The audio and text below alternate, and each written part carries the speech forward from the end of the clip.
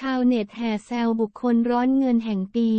ดารามากฝีมือคนนี้กวาดละครห้าเรื่องจุกๆ โลดแล่นอยู่ในวงการบันเทิงมานานกว่า 24 ปีสำหรับนักแสดงมากฝีมือชายชาตโยดม ฝากผลงานสร้างชื่อไว้มากมายผ่านมาแล้วทุกบาทพระเอกพระรองตัวร้าย ซึ่งผลงานละครเรื่องแรกเป็นบทเกยหนุ่มออฟฟิศสุดหล่อเพื่อนนางเอกในละครเรื่อง รักเล่เพทุบาย จากนั้นมาก็มีผลงานอย่างต่อเนื่อง แต่ที่ครองใจแฟนละครและเป็นที่จดจำไปทั่วบ้านทั่วเมือง คือบทบาทคุณพ่อเกรซ ผู้แสนอบอุ่นหัวใจในละคร มาตาลดา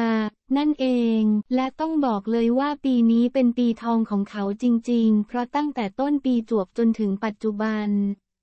ชายชาตโยดม มีผลงานผ่านหน้าจอทีวีไปแล้วกว่า 5 เรื่องได้แก่สะพ้ายสายสตรอง หมอหลวง มาตาลดา เกมรักทรยศ พรมลิขิต งานนี้ชาวเน็ตเลยอดแซวไม่ได้ บุคคลที่ร้อนเงินแห่งปี หลายคนได้เห็นฝีมือการแสดงแล้วต่างอยากให้เขาได้รับรางวัลใหญ่สักรางวัลจริง ๆ